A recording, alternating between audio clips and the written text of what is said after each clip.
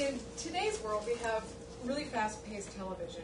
We have um, we have shows that are solely made for the internet, and your jobs are actually dwindling.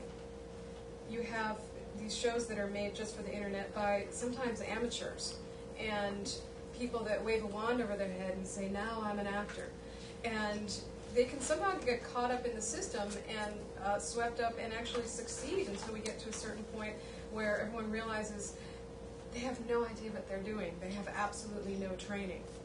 And it doesn't work out very well. So I, I want you all to kind of applaud yourselves for taking the time and training yourself and asking questions and getting the answers that you need. So good on you.